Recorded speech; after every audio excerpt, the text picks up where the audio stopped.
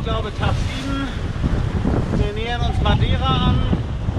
Ähm, heute Morgen war ein kurzer oder ein mehrstündiger netter Glitch unter A5. Dann haben wir irgendwann den A2 hochgezogen. Das glitscht jetzt genauso gut. Sonne kommt hoch, demnächst kommt Kaffee hoch, alles bestens.